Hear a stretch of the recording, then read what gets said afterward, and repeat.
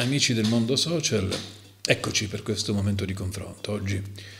ho avuto modo di seguire come attività giornalistica eh, il presidente, l'ex premier, attuale presidente del Movimento 5 Stelle, Giuseppe Conte, all'arrivo nella città di Corigliano Rossano. Eh, ho colto alcune impressioni, c'è stata una certa vivacità, anche entusiasmo nell'aver accolto un uomo che ha svolto un, un ruolo di primo piano in Italia ho avuto anche modo di notare alcune, alcune presenze all'interno diciamo, della, delle persone che erano lì, c'è chi è iscritto, chi è simpatizzante, eh, ma c'era anche una fascia sociale che era lì come senza un po' di gratitudine rispetto magari al provvedimento che è relativo al reddito di cittadinanza. Uno strumento che, ribadisco, è nato o era nato come sostegno e supporto a chi non ha nulla per incanalarlo nel mondo del lavoro attraverso dei corsi di formazione. Poi nel corso del tempo si è trasformato in altro, non certo per colpa o per spirito della norma, ma per gli organismi di controllo da un lato e attuativi dall'altro. E quindi c'è questo senso di riconoscenza da parte di chi non ha nulla ed era lì ad incitarlo, ad osannarlo, una parte che mi ha colpito moltissimo dal punto di vista umano. Io non sono tra quelli che sostiene eh, l'idea secondo cui il reddito di cittadinanza sia un sussidio, sia un intervento assistenzialista Credo però che in questa fase sia un intervento importante. Io continuo a ritenere indispensabile questo strumento, ovviamente qualora lo Stato dia seguito a quello che dice la norma, quindi corsi di formazione e, e incanalare per l'appunto nel mondo del lavoro coloro i quali usufruiscono, hanno diritto al reddito di cittadinanza. Uno strumento importante verso cui le forze dell'ordine attuano attività di controllo per i furbetti, per chi magari non ha diritto, ma su questo versante io credo che bisogna anche dare delle risposte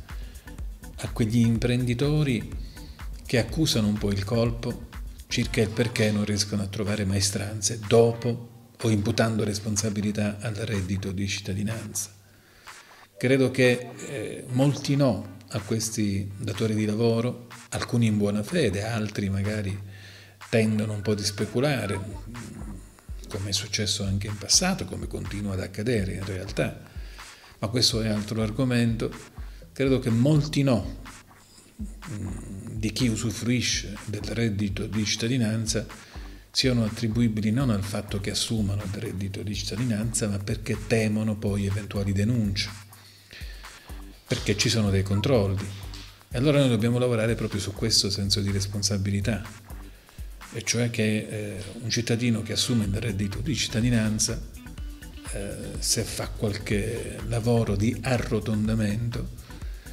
credo che non si debba stare addosso a questi cittadini, c'è non altro per consentirgli di poter vivere, in attesa che eventualmente il governo possa dare realmente attuazione a quello che è lo spirito della norma. Poi ci sono state anche altre, altre situazioni che in qualche misura eh, qualcuno mi ha contestato come attività giornalistica, eh, quando ho, detto, ho chiesto, ho fatto una domanda specifica al, all'ex premier sul tribunale di Corigliano Rossano, poi soppresso Qui sostenevo e continuo a sostenere che, beh, nonostante eh, fosse la riapertura dei tribunali nei programmi del Movimento 5 Stelle,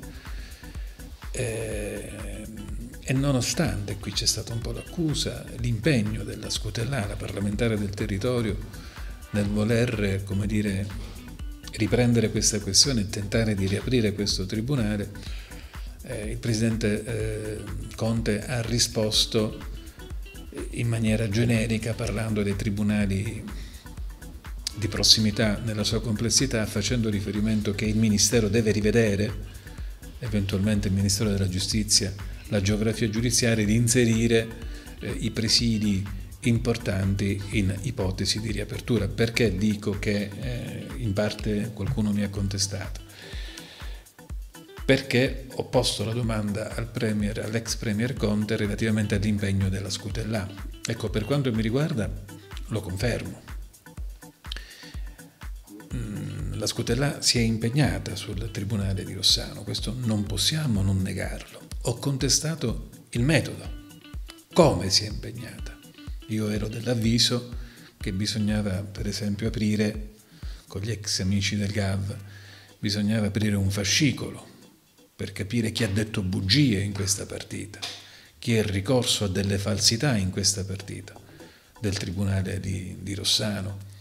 eh, le famose carte false, bisognava aprire un'inchiesta parlamentare, fare chiarezza,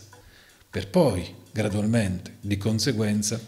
arrivare poi alla ripertura per un atteggiamento che si configura come dolo e non come revisione così come è stata fatta passare o per carichi di lavoro o per altre stupidaggini che si sono inventate. Tanto è che quando eh, nella fase topica in cui fu poi soppresso l'ex tribunale di si ingigantì di tutto e di più sostenendo la tesi secondo cui l'attuale tribunale di Castrovillari avesse gli spazi per ospitare tutta l'utenza dello Ionio, queste storie, queste cronache. Ancora oggi mi risulta che addirittura il presidente, l'attuale presidente del Tribunale Castrovillari sia stato costretto a chiedere una stanza all'ordine degli avvocati che ha poi concesso per tenere l'udienza. Questo per dimostrare, anche se siamo sotto Covid, questo per dimostrare che poi tutti questi spazi in un tribunale su cui era posta anche in discussione l'agibilità di quel presidio ritenuto nuovo, ecco, tutte queste cose non sono mai venute a galla, quindi si contestava e contesto una condotta che ha a che fare con una questione etico-morale di quella gestione dei tribunali. Eh, però che non si sia impegnata, ecco, questo assolutamente non mi sento di affermarlo. Grazie, alla prossima.